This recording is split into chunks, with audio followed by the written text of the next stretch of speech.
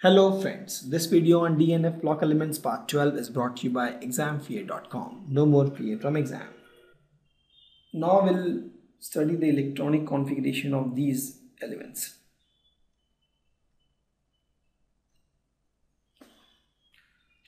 So let's see the electronic configuration of actinium AC.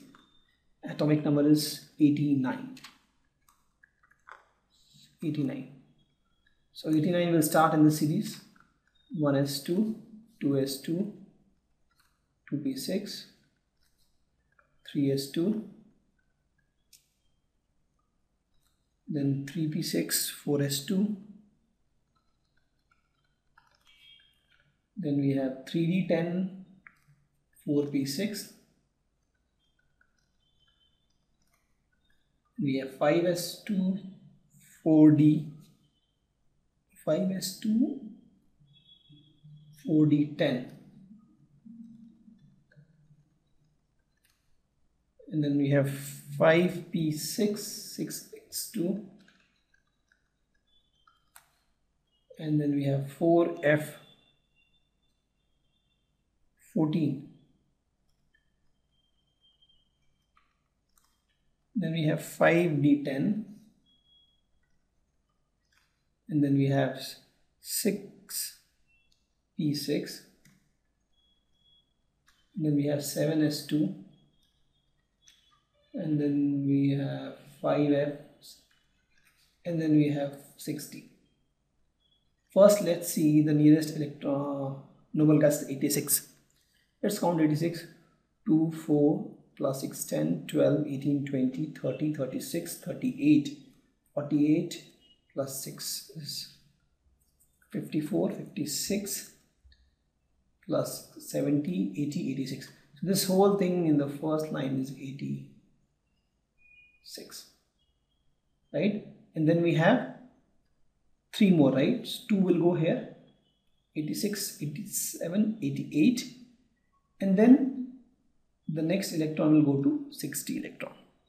So this will be what? This will be Rn 7s2 5f0 6d1 now again note this that after this is rutherfordium that is 105 see after 89 if you take a element with atomic number 90 that in that case if you see again the same logic since d has already one electron the energy level of d has increased the next electron will go to 5f and then the next 14 electrons will go to 5f orbital and those are again if you see are actinides and they are not part of the series. The next element here you see is 104 because the next 14 elements goes to f next 14 electron goes to f orbitals. And so the next 14 elements are f block elements right? The next d block elements after 89 is 104 there is a gap of 14 and these 14 goes in f orbital because d has one electron. So that makes uh, energy level of d higher and the other electrons goes to f orbital. So this is now rutherfordium 104 so we'll draw that for that. Rn is my 86 7s2 and as i told. This 14 will go here. So this is 86 88 plus 14 88 plus 14 is what? 102 so 102 electron is being taken care by this configuration correct? In the next we have two electron more because it is 104 so two electron will go in the 6d orbital. 60 same thing for my db. Dubnium so 102 electron is being taken care by this ru 7s2 5f14 this takes care of 102 electron. The next electron three electrons will go here. Okay? Same thing from seaborgium Sg 106 102 electron is being taken care by this configuration.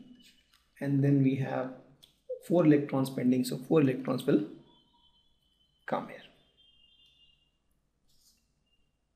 Same thing for bohrium 107 102 electron is being taken care by this.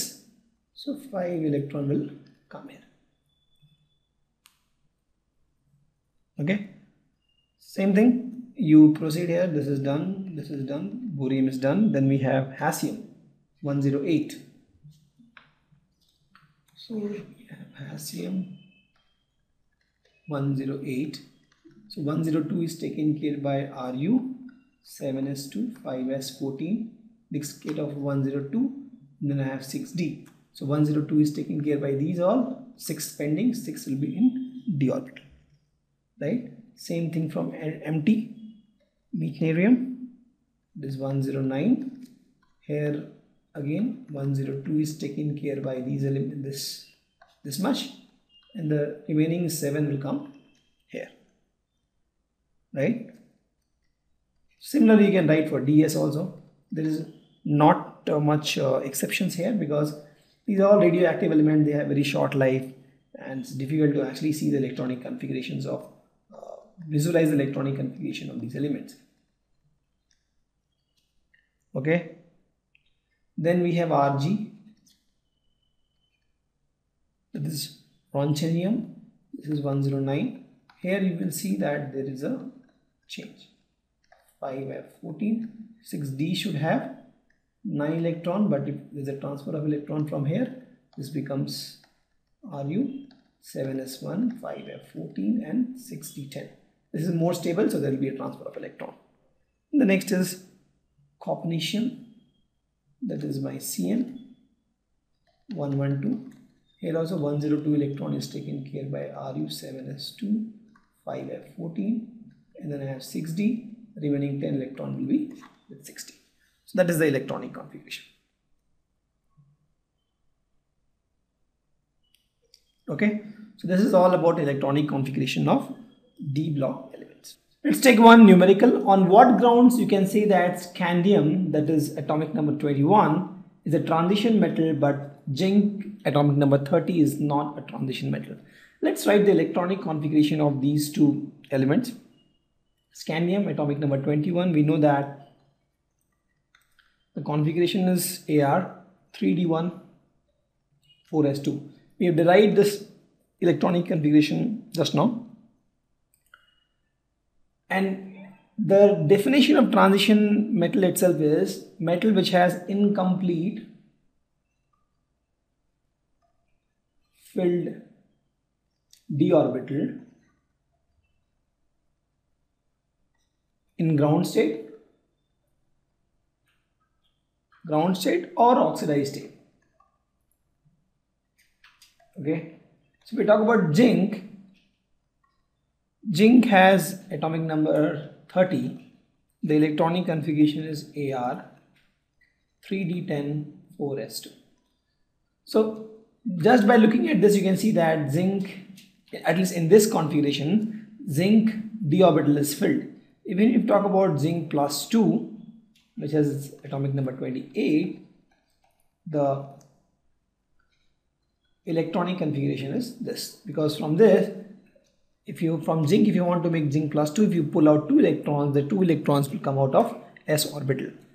So if you see for zinc and zinc plus 2 that is zinc and zinc oxidized state in both of these case the d orbital is completely filled. So it is not transition metal but if we talk about scandium, in fact, the normal or the ground state scandium itself has unfilled d orbital. So it is a transition metal. The next question is silver has completely filled d orbital in its ground state. How can you say it is a transition metal? So let's talk about silver. If we talk about the silver, we have just seen that the electronic configuration of silver is AR 4D10 5s1 this is the electronic configuration of silver. But we have seen that silver exists in two oxidation state. They are the two common oxidation state of silver. If we talk about ag plus the electronic configuration is 4d10 5s0 this one electron will come out of s orbital. If we talk about ag2 plus the next electron will actually come out of d orbital now. Right? Now if you see in this case actually the d orbital is partially filled so it is a transition element okay thank you Visit examfear.com to watch more videos, attempt free online tests, get free study materials, find tutors and mentors, and much more. Thanks once again.